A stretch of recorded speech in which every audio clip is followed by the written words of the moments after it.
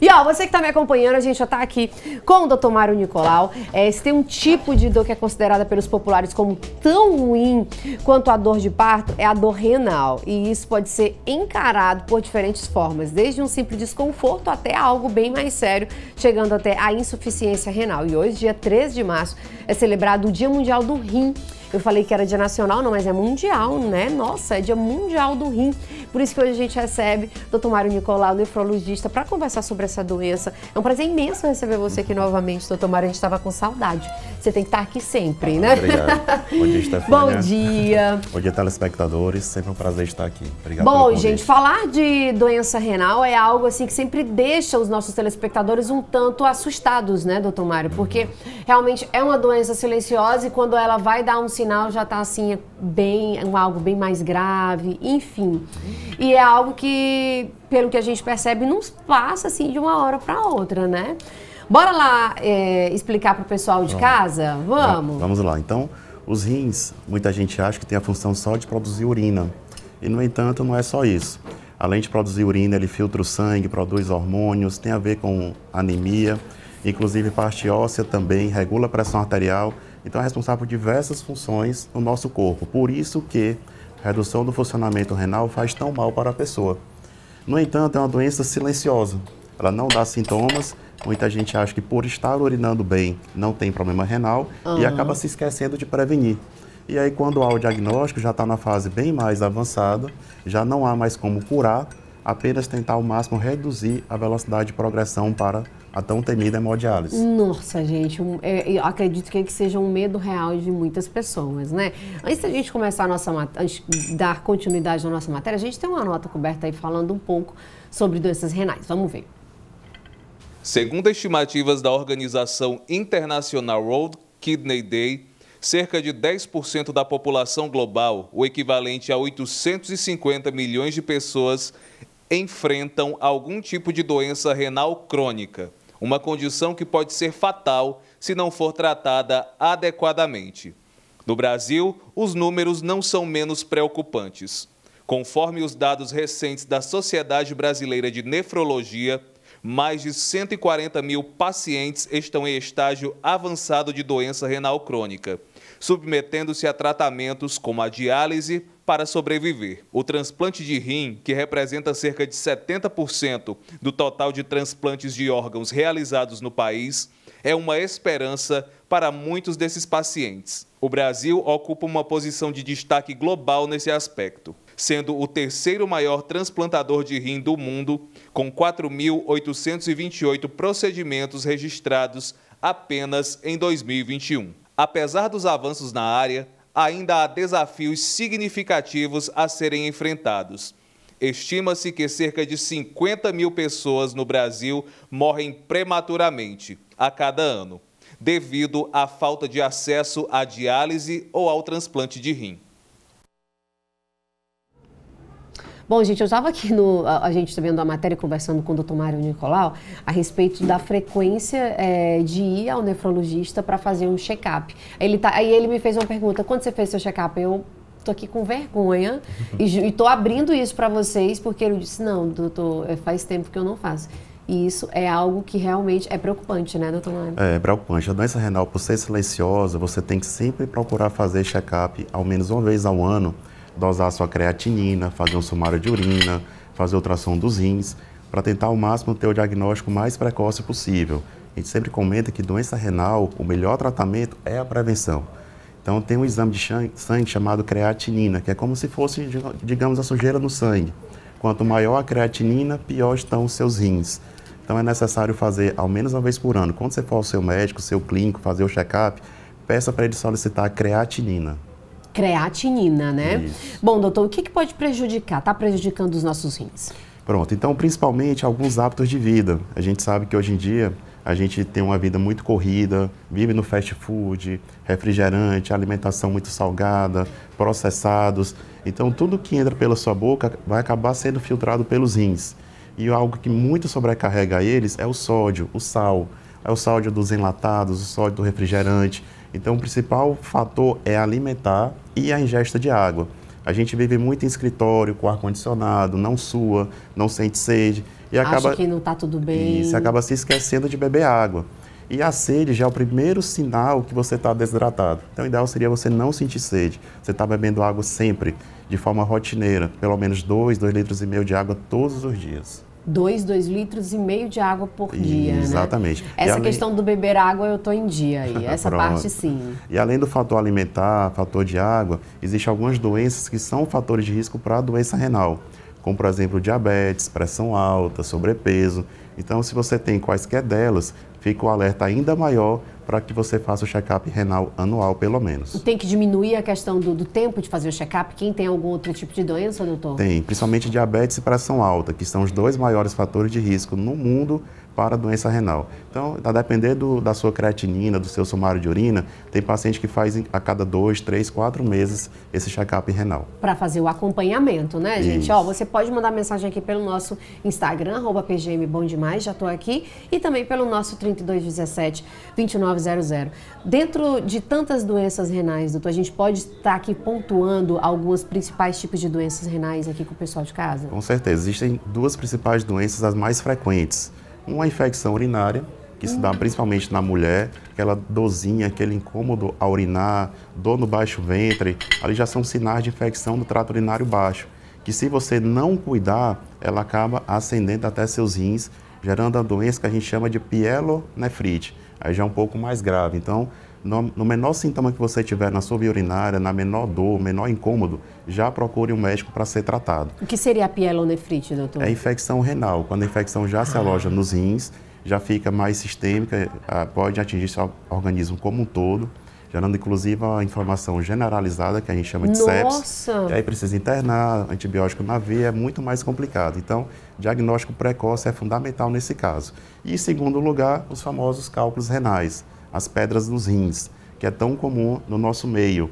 Então, se você tem histórico familiar de pedra nos rins, ou então se você já teve pedra no passado, procure sempre fazer acompanhamento com exame de imagem, sumário de urina, investigar por que é que você forma essas pedras e as principais causas, como eu falei anteriormente, é alimentar e baixa ingesta de água.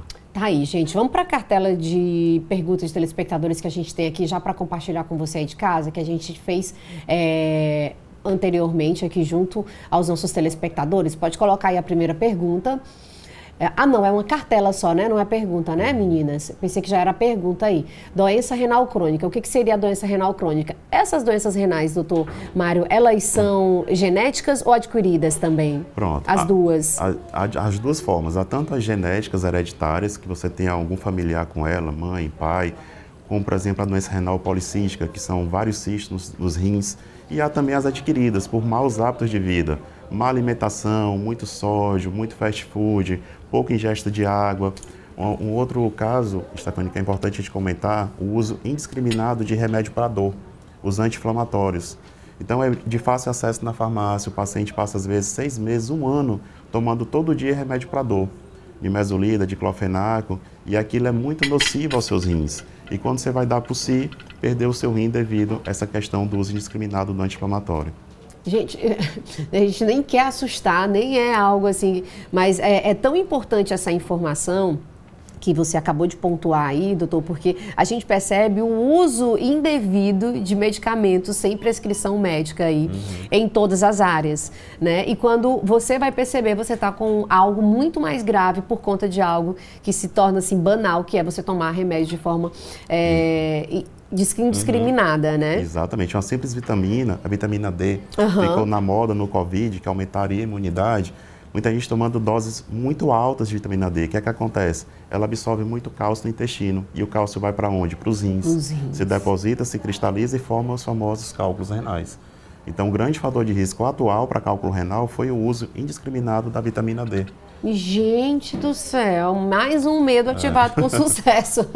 Aí, ó, tem pergunta de telespectador aqui também, deixa eu botar aqui no nosso, é, Insta, no nosso Instagram. Bom dia, é, doutor, eu assisto o programa todos os dias, é excelente. Obrigada, Amanda, eu fico muito feliz. Eu gostaria de saber sobre infecção urinária. Ela sente dor e ardência, já fez vários exames e não dá nada. Ela diz que bebe muita água, mas mesmo assim acontece isso. Teria algum exame mais específico para conseguir descobrir o que seja, o que possa ser? Uhum. Existe uma série de exames a ser feito nesse caso, esse incômodo urinário persistente.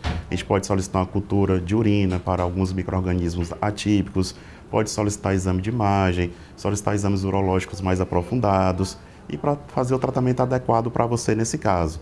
Mesmo que não responda tão bem ao antibiótico, existem outras medicações que aliviam esse sintoma. Então, assim, procure ser avaliada, não deixe isso evoluir para uma infecção mais grave e acometendo seus rins. E o que você acabou de falar, essa qual, qual o nome que eu não lembro, né? Pielonefrite. Pielonefrite. Isso. Pode chegar. Pode. Uma, uma frutinha que é muito adequada nesse caso, que ajuda muito as mulheres a evitar infecção urinária, é o cranberry, frutinha vermelha. Ah, é? é morango, amora, tudo que é fruta vermelha tem um poder antioxidante muito importante na, na via urinária. Então, se a mulher tem infecção urinária de repetição, a gente recomenda, olha, ingira mais o cranberry, o morango, a amora, que faz bem nesses casos. Gente, amei a dica. Olha só, tá vendo? já amei aí, já, é. já vou incluir mais ainda no meu, no meu dia a dia. Tem mais pergunta aqui de telespectador falando sobre hemodiálise. Ela disse que o pai dela já faz hemodiálise há três anos. Se pode algum dia parar é, com essa hemodiálise? Eu acredito na é cura, né? Não, né, doutor? É, a doença renal crônica, por definição, é progressiva e irreversível. Logicamente que há os casos incomuns, os casos raros, que a pessoa faz hemodiálise ao longo de anos e de repente o rim vai melhorando. Isso não é o comum, não é o habitual. O paciente consegue sair da hemodiálise apenas através do transplante. Então ele fica numa fila, a ah. fila é única, a fim de aguardar um, uma doação para que finalmente ele consiga sair da diálise. Sim, entendi. Somente através. É, na grande o maioria normal, das vezes, né? Isso. Seria através do, do transplante. transplante. Exatamente. Mas é, se a pessoa vai, vai fazer um acompanhamento e você está lá e diz, olha, você vai precisar fazer hemodiálise, uhum. né? E aí a pessoa não faz hemodiálise. É. Isso é um risco que ela vai correr. A gente, ah. a gente sempre comenta que a hemodiálise é um ato de amor com seus familiares e com você mesmo. Porque sem ela, você jamais conseguiria sobreviver muito tempo. Uhum. Acumula muita sujeira no sangue, acumula potássio, ureia. Isso aí vai causar efeitos colaterais graves a um curto prazo. No coração, no seu cérebro, pode gerar arritmias. Então, assim, você aceitar a hemodiálise, aceitar o tratamento, é um ato de amor para você conviver por mais tempo com sua família. É, bom dia, Maria. Bom dia para você também que está nos acompanhando. A Maria está perguntando se a hidratação para pessoas que têm é, problemas nos rins é diferente é um pouquinho diferenciada, porque o rim já não consegue mais eliminar o excesso de líquidos que você ingere. Então a gente sempre recomenda você calcular mais ou menos o tanto que você urina por dia. Você urinar um litro, meio litro, então você adiciona meio litro àquela quantidade. Então se urina um litro, você pode beber até um litro e meio. Urina só meio litro, você pode beber até um litro. Então é mais ou menos esse cálculo que a gente usa para quem já tem doença renal crônica na fase avançada. Bom dia, doutor. Queria saber que quem toma quatro insulinas por dia prejudica muito os rins? Não, pelo contrário, a insulina vai ajudar a controlar o diabetes, que é um grande fator de risco para a doença renal. Então, quanto melhor for o seu tratamento do diabetes, quanto mais controle você tiver da sua glicemia, melhor para os seus rins, evitando a nefropatia do diabético. É, a Raimunda também está perguntando, um beijo para você, Raimunda de Timon, se todo mundo que tem doença no rim vai chegar a fazer hemodiálise. Não, né? Doutor? Não, depende do tipo, tá? Às vezes é uma infecção urinária de repetição, cálculo renal, as chances são bem menores. Tá? Então, assim, o mais importante é você acompanhar, diagnosticar e fazer o devido tratamento. É como a gente está falando, acho que realmente é um medo que todo mundo tem, né? É. É, um beijo a Márcia, que também mandou pergunta para a gente. Quanto tempo a pessoa pode estar fazendo hemodiálise, doutor? Indefinido, tá bom? Não, não tem um tempo assim, pode fazer 5, 10, 15 anos. Nós temos pacientes atualmente fazendo há 20 anos, 25 anos. Tudo Hoje, isso, doutor? Isso. Hoje o material está bem mais moderno, as reações são bem menores. Tem exames mais apropriados que ele faz mensalmente para conferir as taxas. Então a sobrevida está sendo cada vez maior. Enquanto isso, aguarda o transplante, que pode ser tanto o doador falecido, que é aquele que fica numa fila, como também se algum familiar quiser fazer a doação para ele. Doutor Mário, mas é muito tempo, é uma vida inteira. É, infelizmente, por isso que a gente tem esse dia para orientar a população, para a população ter consciência em relação aos seus rins, fazer um diagnóstico precoce para evitar que chegue até o nível da hemodiálise. Nossa, gente, está vendo aí a importância, né, da gente também estar tá fazendo um acompanhamento. Eu fiquei com medo. Realmente eu fiquei assim assustado. Doutor, qual a diferença entre a, a doença renal crônica e aguda? Tem é... Tem, tem uma diferença. A doença renal aguda, você fica bem mais atento e preocupado em investigar o que é que fez aquele rim piorar de forma abrupta, que é para a gente tentar corrigir o mais rápido possível para não uhum. ficar cicatriz, não ficar sequela. Já a doença renal crônica é algo que vem ao longo do tempo, muitas vezes de forma silenciosa, imperceptível, consumindo o tecido de função renal. Nossa, olha só, tem mais pergunta. A Francisca está perguntando aqui se com a idade pode causar doenças renais. Com certeza. A idade é também é um fator de risco para a redução do funcionamento renal. O nosso rim funciona 24 horas por dia, o tempo todo, então, uma hora ou outra, ele ia cansar um pouco. E é por volta dos 60 anos. Então, depois de 60 anos, todo mundo, por mais saudável que seja, perde de 1 a 3% de rim anualmente. Nossa. Então fica maior atenção ainda em relação à água. A gente sabe que o idoso não tem tanta sede. Uhum. Então o familiar precisa ficar fiscalizando. Tem uma garrafa na geladeira só do idoso, para que você tenha noção de quanto é que ele está bebendo ao longo do dia a fim de evitar uma piora mais importante na função renal. Uma excelente dica, né, doutor? Doutor, e nesse dia específico, o que que a sociedade está é, trazendo para é, é, a sociedade de, é, nefrologia de nefrologia está uhum. trazendo para a sociedade é, de conscientização, para todo mundo estar tá aí em alerta? Pronto. Hoje o dia nós teremos em Teresina alguns eventos uhum. gratuitos, onde teremos a presença de nefrologistas, nutricionistas, assistente social, técnico de enfermagem, tudo para dar maiores orientações sobre a doença renal. Lá no estande teremos verificação de glicemia capilar, pressão arterial, tira dúvidas, perguntar quais remédios você está usando com frequência, se você tem pressão alta, diabetes. E muitas vezes, Stefania, a gente consegue diagnosticar pacientes portadores de doença renal crônica através dessa campanha. Por isso a importância será na Praça Saraiva, agora pela manhã, de 10 ao meio-dia, estaremos lá. E no final... Já, já, agora, né? Isso. Saindo daqui. Uhum. E no final do dia, na Raul Lopes, ali perto da Ponte Estaiada. Aqui, toda... na, só mais uma vez, estou na Praça Saraiva, de 10... Ao meio-dia. Uhum. E na Ponte Estaiada, ali na Raul Lopes, entre 5 a 7 da noite. 5 da tarde a 7 da noite. Nossa, gente, que importante é, é a gente estar tá em alerta com o nosso corpo, se amar mais. Eu sempre falo que a gente tem que se olhar, se observar, se sentir, né? Uhum. Para não ter algo mais grave. A Márcia está mandando um beijo para você, beijo para mim. Obrigada, Márcia. está mandando uma pergunta. Quem tem cálculo renal, doutor, pode ter riscos sérios pra, de como fazer hemodiálise, com medo da hemodiálise, né? Isso. né? A chance é menor, mas há. Às vezes um cálculo impacta no trajeto do rim para a bexiga você acaba que se acostuma com aquela dor, com aquele incômodo, e quando você vai ver, o seu rim está bem dilatado pelo acúmulo urinário, já uhum. que é uma obstrução, e ele, você pode acabar perdendo o funcionamento naquele lado. Então, assim, sempre procurar fazer exame de rotina, caso você tenha pedra nos rins, para ficar avaliando se realmente estão nos rins ou já estão sendo deslocados para serem eliminados. Outra Ana está perguntando se tomar creatina em excesso pode trazer algum problema aos rins. Pronto, ela focou bem no nome em excesso. Em excesso. então, tudo em excesso faz mal uhum. para o nosso organismo. Inclusive o suplemento proteico, creatina, whey protein. Então, se você está tomando na dose recomendada, se você está tá sendo acompanhado por nutricionista, por médico, tudo bem. É até importante em relação a, a, a, ao tecido muscular. Porém, se você está tomando em excesso, em doses cada vez maiores, cuidado pode sim causar algum tipo de dano renal no futuro. Eu acho que é porque a pessoa acha, não, eu vou tomar mais, eu vou, eu vou ter um ganho mais rápido, Isso. vou melhorar mais rápido. Isso. Gente, não é assim que funciona. Isso. Inclusive, o último consenso mundial da nefrologia recomenda, caso você tome suplemento proteico, fazer o controle da creatinina, do sumário de urina, pelo menos a cada seis, nove meses, para ter um acompanhamento mais de perto.